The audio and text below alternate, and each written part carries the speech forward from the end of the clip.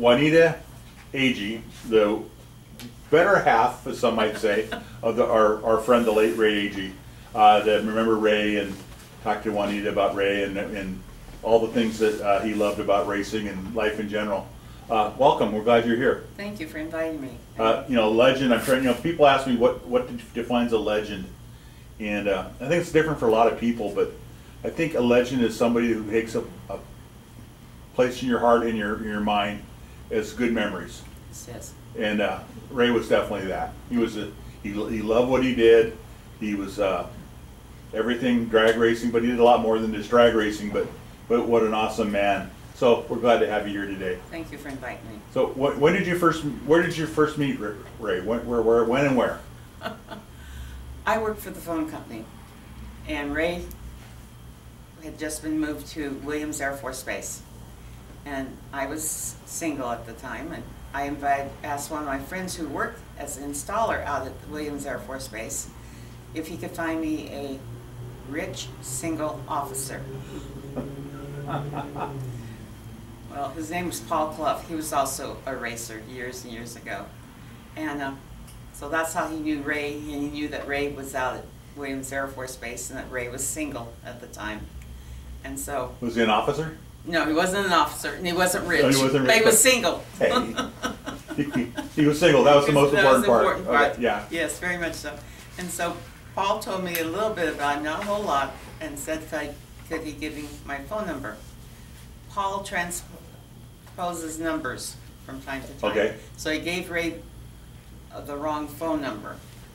And so finally he called me back, Paul did, and said, did you give me the right number? I said, yes. So he gave Ray my correct number. Ray called me, came over to visit me on a Saturday morning, brought his son, Ray Jr., and uh, my daughter, Mary Ray. The four of us sat and talked for a little while. Then the kids went off and played. And from then on, it was just Ray and I. It just we just kind of hit it off. And five months later, we were married. Wow. Did you? Did you? Uh, sounds like you you had involvement or, or around racers before. Oh, oh, yeah. So Oh, right. how- when when was your first? How did you get interested in racing? my first husband was a racer. Okay. Just uh, he had a uh, Camaro, uh, yeah, Camaro, and he would race it out Beeline.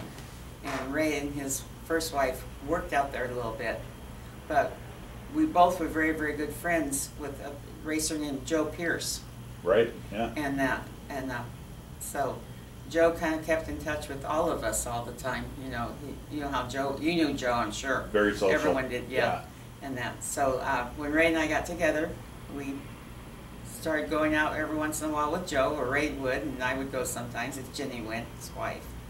And uh, it just went from there. It just Ray really liked racing. I mean, he didn't do a lot of his own racing, but he wrote a lot for Drag Race News, Drag News, and he would write uh, articles about what was going on at Beeline for them. Took a lot of pictures. Took a lot of, oh yes, a lot of pictures of everyone else but himself.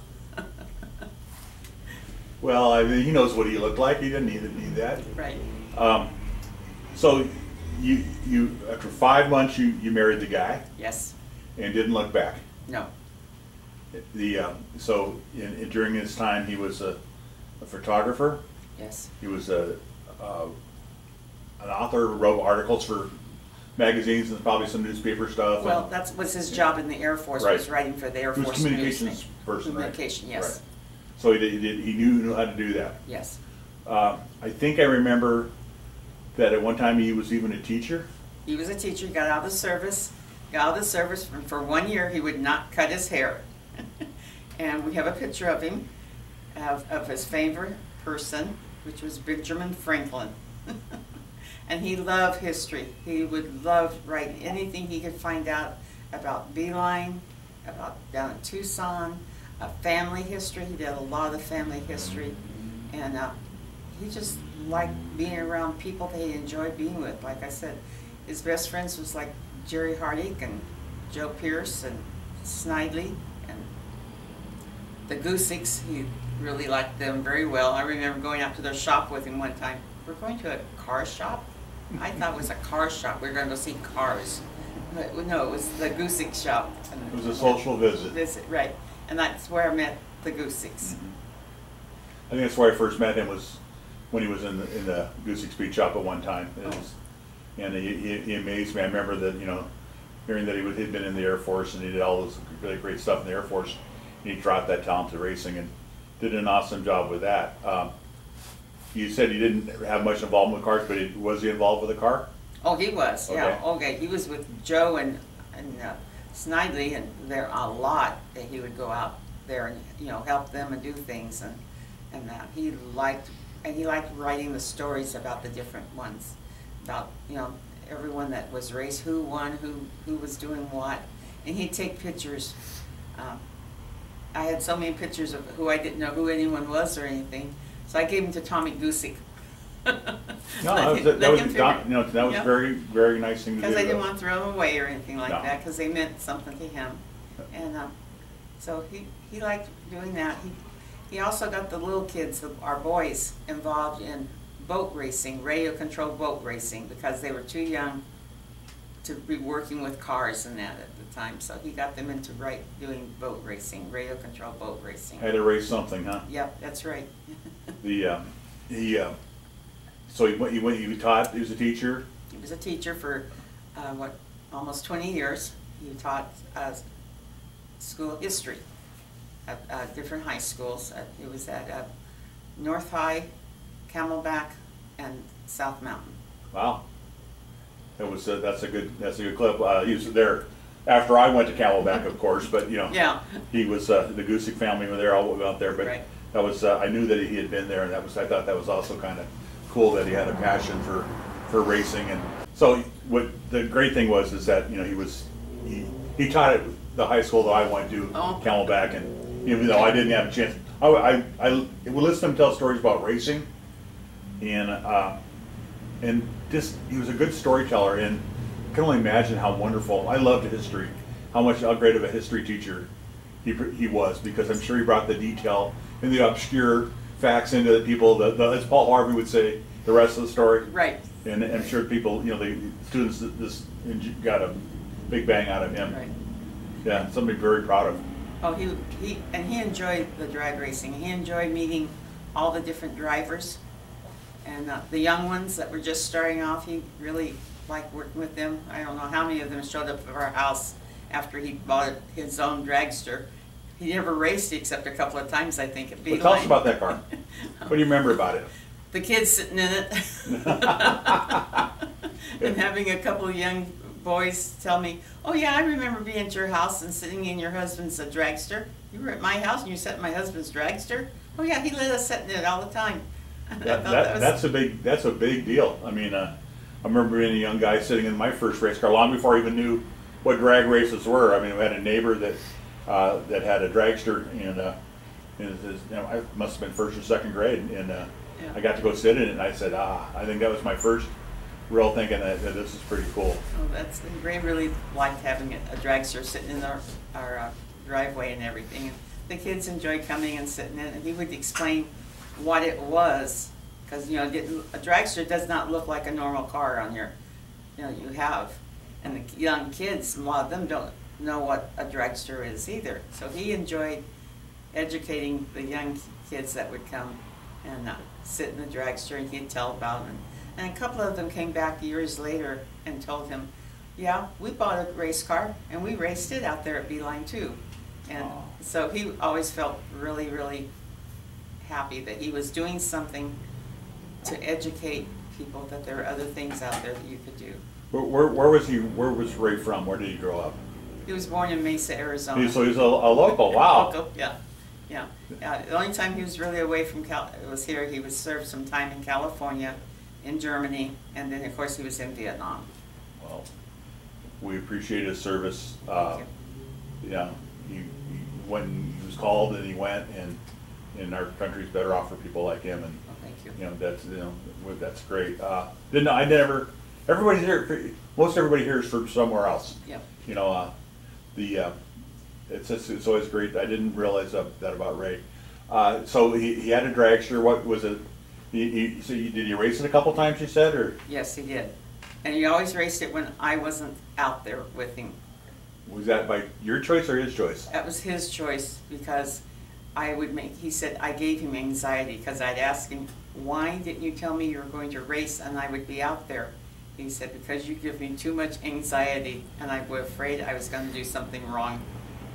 The smaller the audience, the better off he probably Right. was, right? But he, he, he didn't do it a whole lot, but he, I'm sure he enjoyed it. Oh, he did. He enjoyed being out there, mixing with everyone, with the different drivers, and um, taking pictures, and uh, just being there and doing things that he enjoyed. Talking with the different drivers, the people, getting little stories about them, and uh, seeing how well they did and everything. So he, uh, he took a lot of, you know, he, Tucson Dragway, Beeline, and a little bit, and Firebird when it first started, was he, did he ever get out, the chance to go out there? I think he did a couple of times. Yeah, Yeah, I good. think so. He, uh, did, was there anywhere else he, he got to go that he enjoyed, like out of town or? No, the only time he, we were, sometimes we went to California to Bakersfield, and uh, they had a little bit of a race area. Uh-huh. And if we were there when they had it, when, sometimes he would take the boys, our two sons, and go to visit for just a little while, to give my grandparents a break from everyone. R- Relief. Yes. That's, that's awesome. If, uh, if you were to say something, uh, about Ray that people didn't know, that, would- that you knew, is there something that we- you knew, our, my wife knows more about me than anybody else. She tells me about things about me that, that couldn't possibly be true, but when after I think about it, she's pretty, pretty serious about it. What's like Ray to be mem- remembered or known by? That he really enjoyed and loved the drag racing family, as he called it. The way that people always interacted, where so many people were so nice and talking and sharing stories and their families. And, you know, the Gusicks, the, um, you know, are one of the biggest families that he was very fond of and that. And, um, there was other, the Pierce, Joe and Jenny Pierce, he enjoyed being around them, and Snidely and his family, and the Hardicks, I mean, we were, Jerry and, and uh, Brenda, and, uh, just everyone, he just enjoyed being around when, uh, you know, Ron Fossil and all of those. uh, He would like, you know, just be around them and listen to their stories and that, that they told, and that. You did a good job of archiving as far as like getting information sheets on the different drivers and such and, and Tom has actually brought some to us about, you know, when we talk about a certain racer and some of the stuff that, that you passed on to Tom. Uh, I would recommend that if you are a racer or had a family that was racing back in in the era of, of Beeline mainly, uh, and you are looking for an image of a, family, a family member's car or, or car you had, uh, maybe, uh, you know, if you, if you can nail it down to a era of, era of time, get hold of Tom Gusick at Desert Design Sportswear.